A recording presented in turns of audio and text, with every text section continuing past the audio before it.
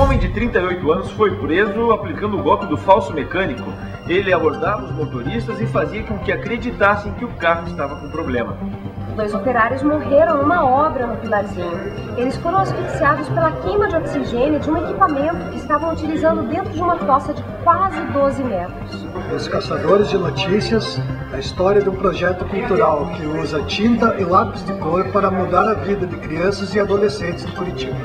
Período de transição nas pastagens do gado leiteiro, diminui a produção do leite e deixa o produto mais caro nos supermercados. Última rodada do segundo turno define quem vai fazer a final do Paranaense com o Curitiba, segundo classificado para a Série D do Brasileiro e o último rebaixado para a segunda divisão. O Atlético terá dois desfalques para encarar o Operário.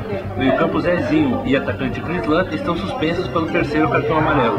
Por outro lado, Douglas Coutinho está de volta ao time. Nas páginas da tribuna.